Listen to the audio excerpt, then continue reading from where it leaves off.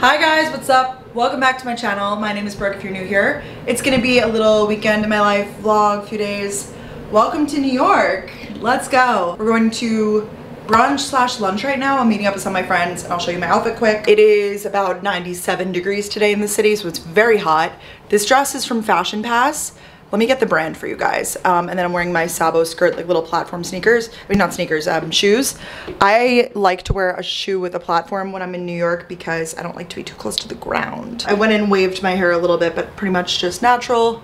And yeah, just a simple fit for this hot day. The dress is from Raise for Days, which I've never heard of this brand, but I do think it's really cute. I love this like style where I just think it's really flattering. Let's go get some food and some drinks. What a weekend. What a day, really. I only went out Saturday, but we are puffy. It is one of those Sundays. This is what I'm wearing right now, just a t-shirt and sweatpants. Spent the first half of the morning, if I'm gonna be totally honest, in my bed. I slept in, not even just slept in, I slept until like 9 30, 10, which isn't that crazy for me. I mean, I like to wake up early, but on weekends, you know, whatever. But then I um, finally, like I laid around probably till like one or two, finally got up and started cleaning my apartment.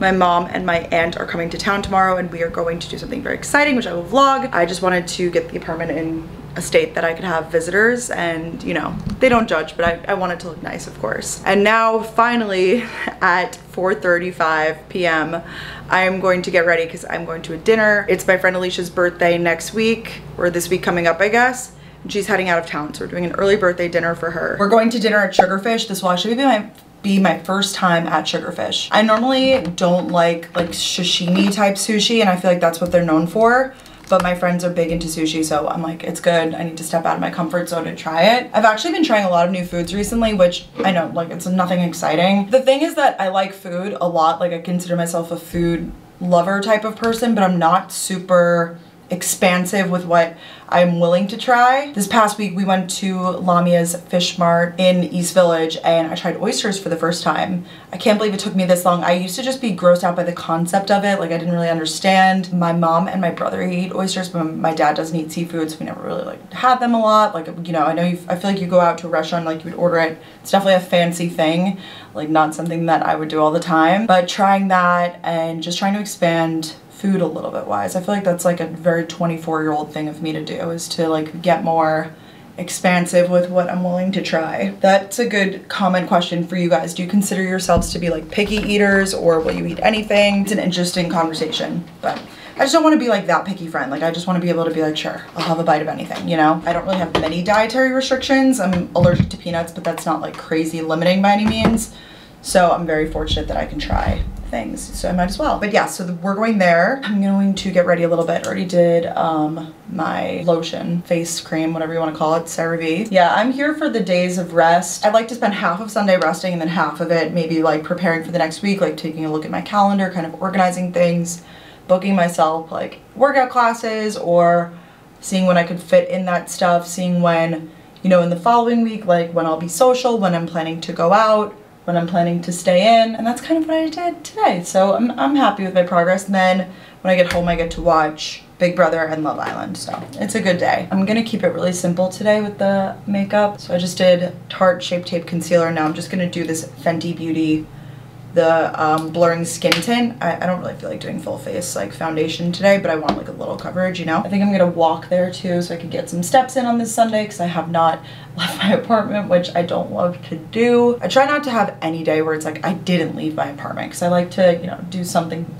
not even crazy active, but at least like leave my apartment. Like I took a walk to the drugstore or something. The people that I've been hanging out with recently, because I know I've expressed like I don't really have a friend group here and I think that was like something that I dealt with a lot last year and kind of through COVID. It was tough because then you didn't want to be hanging out with like all these random people and I really just struggled because I was like all my friends are in different friend groups like what do I do? I'm really really like so happy because my friend Alicia from college, she doesn't have an Instagram right now either, so it's like, I feel like it's like an imaginary friend, but I show her in the vlogs and stuff sometimes. I lived with her my senior year of college, and I lived with another girl, and then my two friends, Maddie Mariah, and it was so, so much fun, and uh, she told me a while back that she was planning on moving to New York, but then COVID happened and all of that, um, but she ended up here now, I feel like timeline wise she would have been here at the same time. But anyways, so I've been hanging out with her and she's like one of my best friends from college. So I've been spending like all of my weekends with her and then her roommates were also from Atlanta. Last weekend we went to the Jersey Shore to visit one of our other friends from college. In a few weeks coming up, um, I know Mariah's coming to visit, so I'll definitely vlog that. It's so exciting. Um, obviously I want all, selfishly, I want all of my friends from college to move here because they're like my best best friends. They're all living like their, their lives wherever they may be. A lot of them are in Atlanta. But I'm so happy to have Alicia here now and um, have met her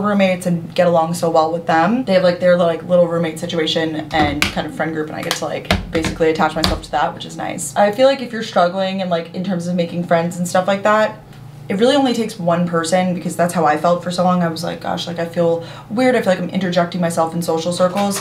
But all it really takes is like one person who is roommates or they have a friend group to welcome you in and then like you can find your people, you know? And maybe I'll even find friends through that. Like I'm not saying that like these are my only friends in New York now, but it feels way better to have a group that I can be like, what are we doing this weekend or what's the plan this weekend? And I haven't had that like since I moved here, which I didn't even, I mean, I guess I kind of had that in Boston, but anyways, I feel really, really thankful. So that's who I've been hanging out with. And none of them are like social media people. They all like regular jobs. So it's kind of nice though, because I like, I, I, of course love hanging out with like my YouTube friends, internet friends, but it's really nice to, I like to have friends in all different like places in life or from different backgrounds and whatnot. So it's been great. Brows. I'm just doing like the lightest makeup today. Really just yeah. Basically ready except that I still have the sweatpants on because I can't bear to do that just yet. But I'm wearing a scarf as a shirt just tied up.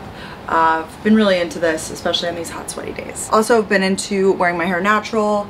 I really just uh, get out of the shower, put some leave-in serum in it and kind of scrunch it up and let it do its thing. Some days it looks better than others, but I feel like if you have wavy hair, you know, that's just how it goes. Or curly hair, but I, I, guess I can only speak from like wavy, but you know, you get it. While I'm here, I wanted to talk about the sponsor of today's video, which is Casetify. No shock, you guys know how much I love Casetify. Specifically, we're gonna talk about the leather cases. I'm about to change out my phone case right now. Have this neon moment, which I love so much but I'm gonna go back to the basics and do a leather moment. I was sent these stunningly beautiful leather cases. The cool thing about these is that they're totally customizable. They have like eight colors. You could choose your font. You could choose where you put whatever you put on them. So this one says BM, which is my initials. This one says Brooke. This one says Brooke in like a nice gothic font big. And I really like this one, a nice chocolate like leather and it says Brooke with the gothic font down there. The leather on these cases is actually made from a cruelty-free leather. It's consciously sourced and handcrafted and has like this fiber suede kind of interior. It's actually like a pebbled leather finish too, which is my favorite type of leather. The leather is also biodegradable and it's made of 90% recycled materials plus 100% recyclable packaging. The leather cases also have Defensify, which is an antimicrobial coating and that keeps your phone germ-free by eliminating 99% of bacteria. I'm actually thinking about getting a new iPhone soon. I'm going to wait until I get a new case first because I think it is so important to have a good quality case that's going to keep your phone safe. And that's the cool thing about Casetify. Not only are they super stylish, but I trust them with literally my life, which is my iPhone. I hate to be like that, but it's true. Now I'm literally going to take off one Casetify case and put on the other because that's just how it goes and how it's been for the last like what four years at this point. I don't even know how many. Casetify also has really cool collabs with artists and designers. I know they partner with like awesome influencers and people that I follow on Instagram. So you'll have to go explore their website. They have so much to explore. And of course, I have a deal for you guys. I'm always asked for my code for Casetify. It's actually a link. So go to casetify.com slash brookemiccio today to get 15% off your new phone case. Once again, that's casetify.com slash brookemiccio, but I will have it, of course, linked down below. Let me know if you guys have a Casetify case or if you plan on buying anything. Like I'm, so, oh my god, I just, I love it. I love it. I think it's time to put on jeans now, unfortunately. This is the completed look. I'm gonna like adjust the scarf, obviously, as we go. Jeans, Citizens of Humanity, and then I'm just wearing these white like platform sandals because they're super comfy from Sabo Skirt. My natural hair, um, let's go. I'm actually about to walk like 30 minutes. I think I told you guys that. then I made this note that I need to get oat milk and toilet paper on my way home. I could like stop at a bodega or something maybe.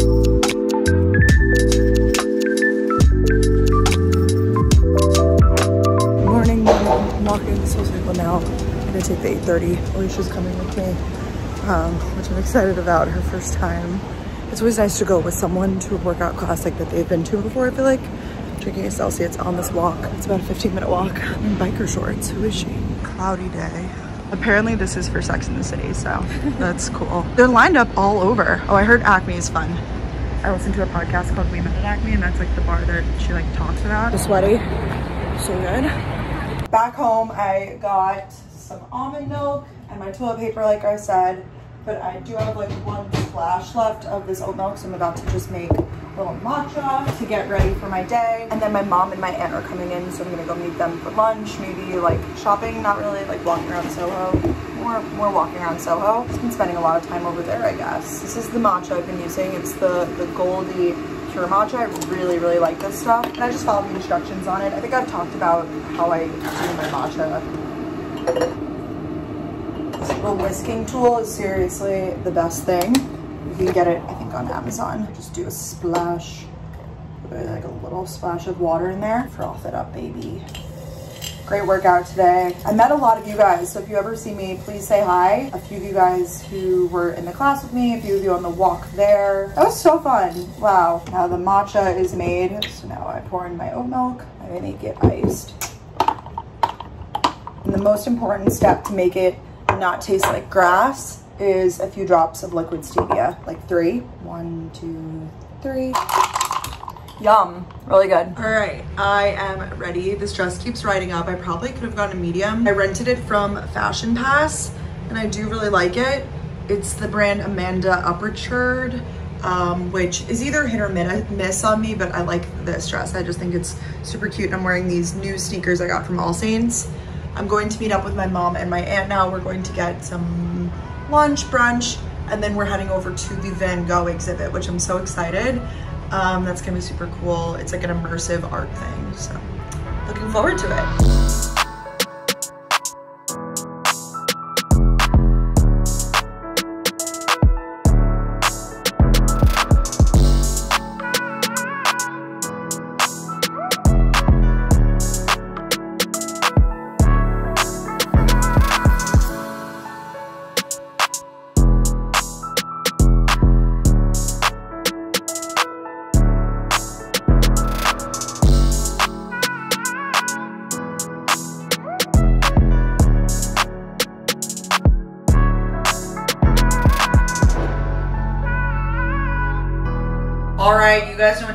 Is. It's time for the bachelorette, which means we're gonna make a cheese board. These are the ingredients. I'm using a big cutting board from Grubhub. We have gherkins, cornichons, pickles. Two types of crackers. I'm using Mary's Gone crackers and these like Firehook baked crackers. Brie cheese. This is my favorite recently, the Boursin cheese. Manchego. And last but not least, some prosciutto. My hands are clean and this is for four people, by the way. Yeah, we're starting off with the boursin. This is so good. I like to put it in the center just because I feel like it's kind of, um, she's beautiful. It's a centerpiece. Nice. This one I don't cut, I just leave it whole.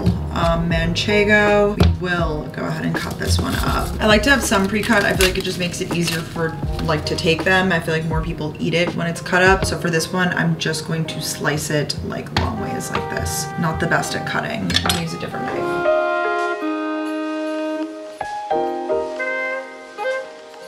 Now the way that I like to arrange this one, I do it in like a reverse fan method.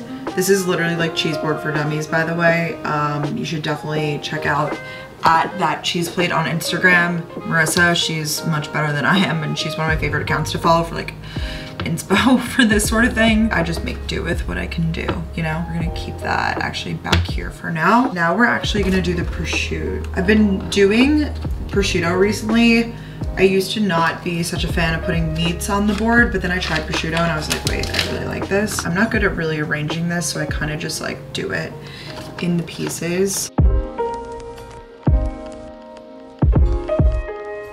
Also, next time I do a board, I'm definitely going to Trader Joe's because I spent way too much getting this from like a different store. It's way more affordable from Trader. For the brie, I'm actually not gonna serve this whole huge chunk. I'm gonna cut it down and just serve a little piece. I don't think that that much needs to be out. And for this, you could cut it, but I don't think I'm actually going to. I think I'm just gonna leave it whole. We'll do some fun stuff. Some crackers. I feel like I could have used another cheese, but it's okay. This is just like an after dinner like snack plate. I'm using Mary's Gone over here.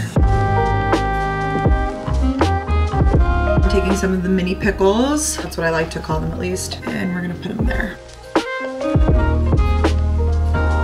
Using these crackers now. Really good. You can leave them whole, but I like to break them into like smaller pieces. I need to reposition things.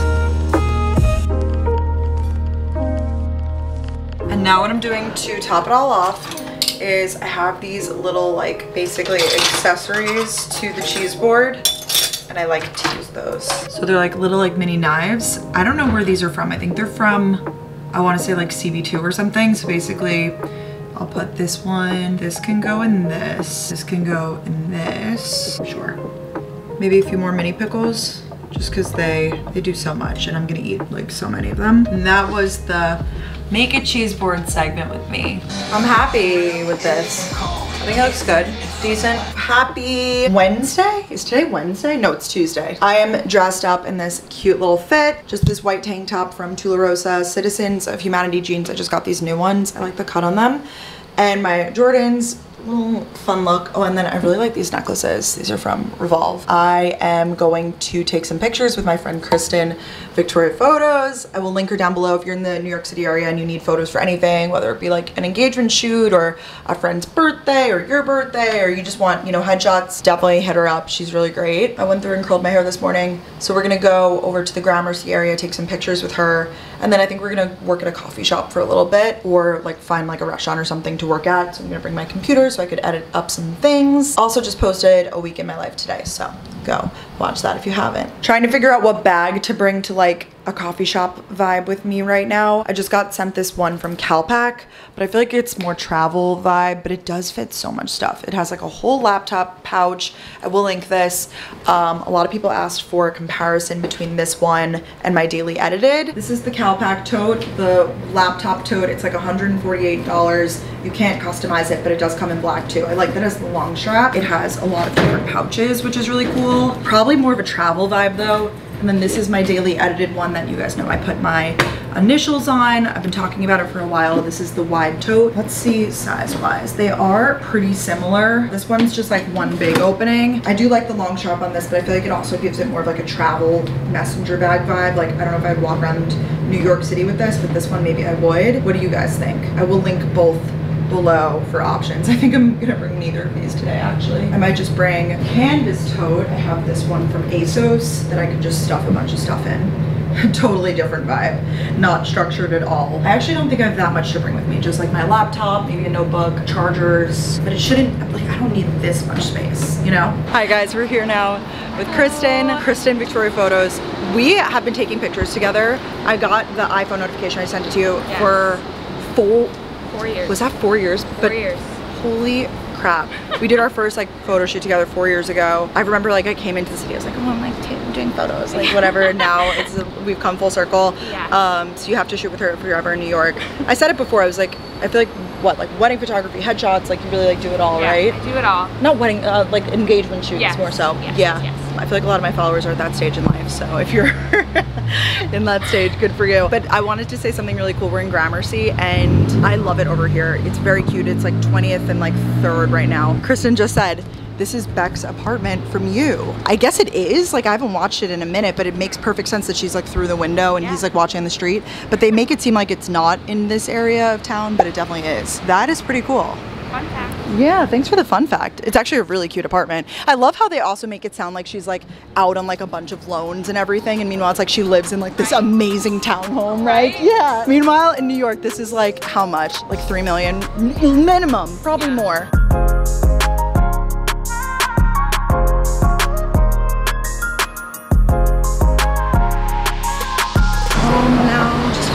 Think with Victoria. We just sat there and like did some work and chat for a little bit She's so awesome.